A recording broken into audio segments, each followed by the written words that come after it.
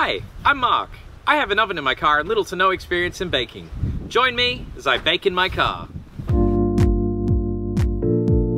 Today we're camped near Glen Davis on the central tablelands of New South Wales. It's a Saturday night, we've got the barbecue going, and I'm going to show you how to make the ultimate side macaroni and cheese. Before we get started, I'd like you to meet Bijan. He's our guest barbecue expert today. Here are the ingredients you're to need.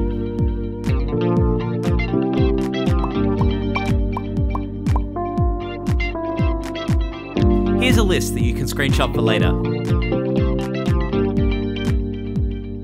Now let's get started. First thing you want to do is fill a pot with water. Place that pot on the stove to boil and add some salt.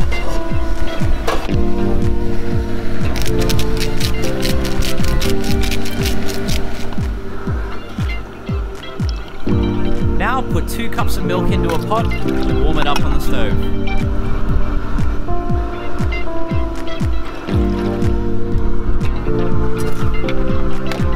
Make sure to watch this and occasionally stir it so you don't accidentally burn it.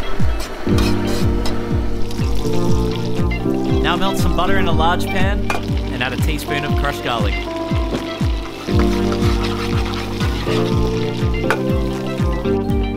When that's melted, add two tablespoons of flour and mix it together using a wooden spoon.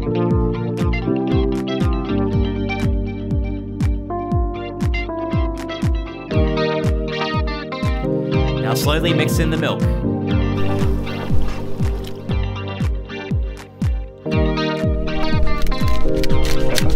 Add some cracked pepper. One salt. Salt. And a little bit of paprika.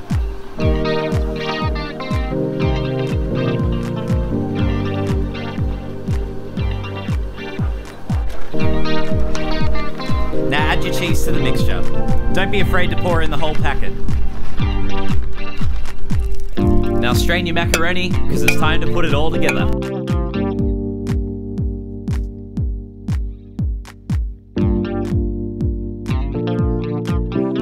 Pour the macaroni into the cheese and give it a stir.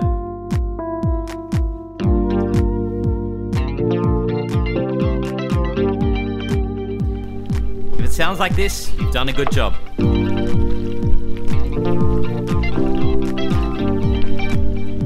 Now pour your macaroni into a deep baking tray.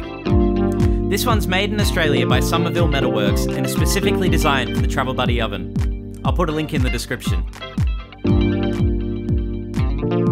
Now it's time to add some more cheese. Pour a whole second packet of the four cheese mix on top of the macaroni. Add some parmesan as well. Now for extra crunch, put some panko crumbs on top of the cheese.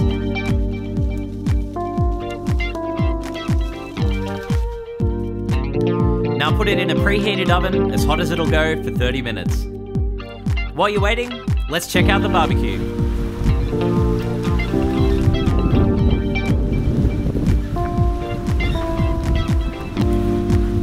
We have six kilos of oversized, slow cooked beef and short ribs with a homemade barbecue sauce.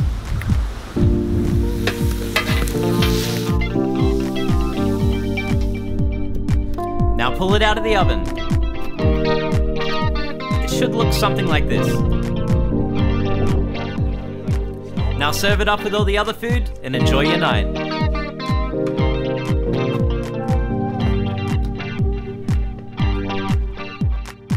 Here's the finished meal.